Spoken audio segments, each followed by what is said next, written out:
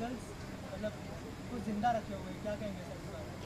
खाबिदा के लिए सबसे पहले तो मैं राजीव राणा को और जसविंदर को बहुत बहुत मुबारकबाद देता हूँ, टाइम्स म्यूज़िक को बहुत बहुत मुबारकबाद देता हूँ और शुक्रिया अदा करता हूँ कि हमारे जैसे आर्टिस्टों के लिए ऐसी चीज़ें लेके आती हैं जो सुनना ज़्यादा पसंद करते हैं और गज़ल गायकी जो है आपकी, वो फ़िलासफ़ी पे बेस है, फ़िलासफ़ी का बेस है और आने वाली जनरेशन के लिए एक नई सोच है कि क्लासिकल से जब सीख के लाइट म्यूज़िक में आते हो तो गज़ल गायकी से आपका डिक्शन क्लियर होता है। डिक्शन से आपकी गाने की सफ़ाई होती है तलफ़ सही होते हैं और ये हमारी मिट्टी की एक खुशबू है, जिसको ज़िंदा रखना हमारा फ़र्ज़ है जो टाइम्स म्यूज़िक कर रही है। और आने वाली जनरेशन के लिए यही बोलूँगा कि जितना ज़्यादा हो सके अपनी मिट्टी की खुशबू को पहचानें। वेस्टर्न कल्चर हमारा नहीं है। वेस्टर्न कल्चर म्यूज़िक के लिए बहुत बड़ा बहुत बड़ा दायरा है। जो हमारी खुशबू है, जो हमारी गायकी है और जो हमारा गला है, वो हमारी मिट्टी का है। हम अपनी मिट्टी में जाके अगर अरेंजमेंट में अगर हम बहुत अच्छा करेंगे तो सोने पे सुहागा होगा।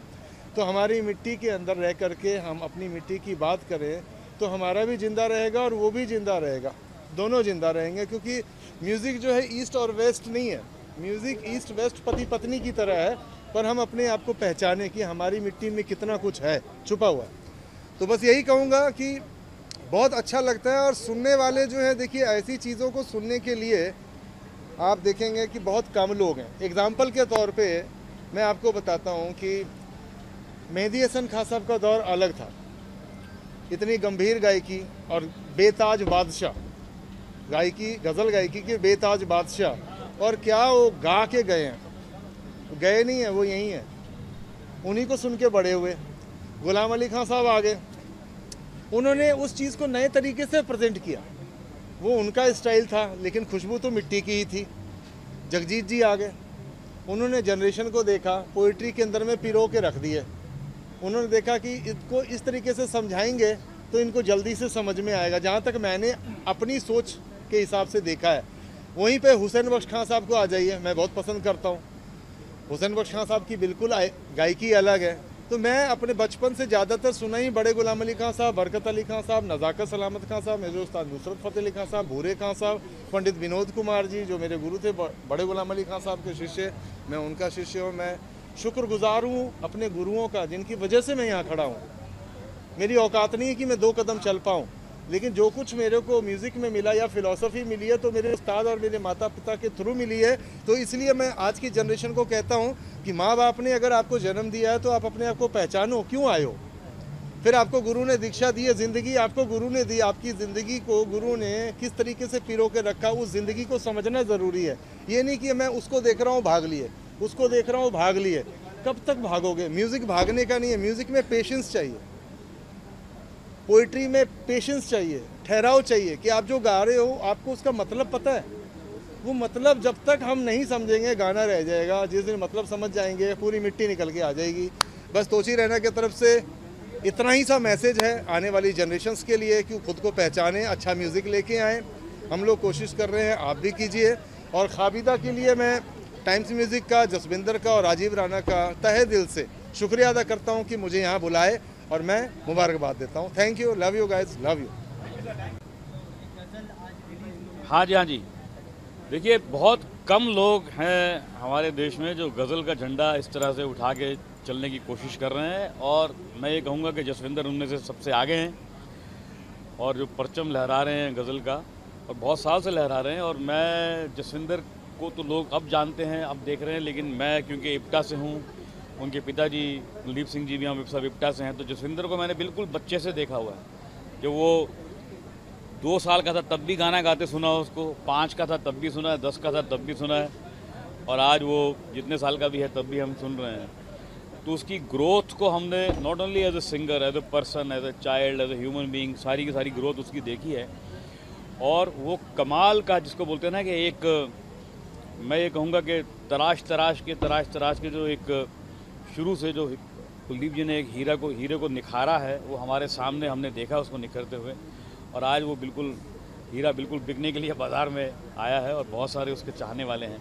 आई एम सो हैप्पी और मैं बस यही करूँगा कहूँगा कि मेरी बेस्ट विशेज़ हैं ख्वाबिदा के साथ। और हालाँकि जो आ, शायर हैं राजीव राणा जी मैंने ज़्यादा इनको नहीं सुना है लेकिन अब इनकी बातें सुनने के बाद मेरा दिल कर रहा है कि मैं इनको सुनूं।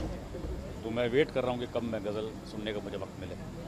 Wish him all the best wish them great luck गज़ल बहुत चले और पसंद आए लोग सर क्या कहना चाहेंगे काबिदा जिस तरह से लोग अप्रिसिएशन कर रहे हैं कितने एक्साइटेड हैं और गज़ल को आज भी लोग कैमरा इधर है। वो बात तो सुन के कितना अच्छा लगता है आप दोनों से देखिए एक ख्वाब जो है वो मैंने और राजीव राणा साहब ने मिलकर देखा था जिसका नतीजा ये खाबिदा एल्बम है। और आज इस लॉन्च फ़ंक्शन में हमें बहुत ही अच्छा लग रहा है कि जितने भी सेलिब्रिटीज़ आए गेस्ट आए, हमारे दोस्त आए, सभी को जानलेवा जो हमारी गज़ल है और खाम खा गज़ल बहुत पसंद आई। और मैं राजीव भाई के बारे में बस इतना कहना चाहूँगा कि मैं जब इनसे मिला तो इनकी शायरी ने, इनकी पोइट्री ने मुझे बड़ा मुतासर किया, बड़ा इंस्पायर किया। और इनकी एक ख़ास बात है कि आसान लफ्ज़ों में ये गहरी बात बयां कर जाते हैं। ये इनकी ख़ास बात है और यही खाबिदा की गज़लों में है। राजीव भाई। जसविंदर सिंह जी के बारे में जो सब उन हस्तियों ने बोला, आप सबने सुना होगा। इनसे अच्छा गज़ल गाने वाला आज इस दौर में हिंदुस्तान में कोई नहीं है। और जिसके बारे में जावेद अख्तर साहब कह चुके हों कि जगजीत सिंह जी के बाद अगर कोई गज़ल को निभा सकता है, वो जसविंदर सिंह जी हैं तो मैं कौन होता हूँ बताने वाला? मैं तो बस इतना कहूँगा कि इस पत्थर की खुशकिस्मती थी कि पारस के साथ आके खड़ा हो गया तो थोड़ी बहुत चमक मेरे में भी आ गई। थैंक यू कोलेब्रेशन कैसे हुआ आप दोनों का? क्योंकि जैसे हमने गज़ल में देखा कि काफ़ी मतलब ऐसा लग रहा है कि एक ही जन ने ये बनाया दो जाने मतलब एक जिस्म दो जान कह सकते हैं नहीं बिल्कुल मैंने जैसे पहले बताया कि मैं जब राजीव साहब से मैं मिला तो इनके एक लॉन्च में मिला था और मुझे इनकी शायरी इनके इनके गाने इनकी पोइट्री बहुत पसंद आई थी और मैंने इनसे दरख्वास्त की थी यार कि अगर कभी मौका मिले तो मुझे भी आप मौका दें।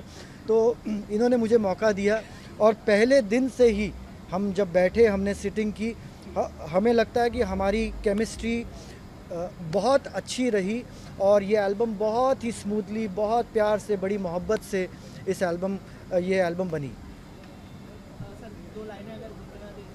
गुनगुनाने वाले तो ही हैं तो सर, हीरा खरीदने की और परखने की औकात हर किसी की नहीं होती ना।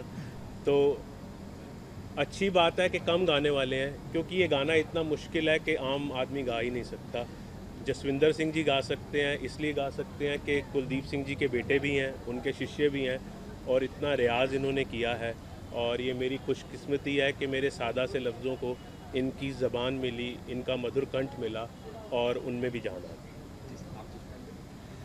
देखिए, ऐसा है कि गज़ल का जो ये जॉनरा है, ये बहुत ही मुश्किल जॉनरा है।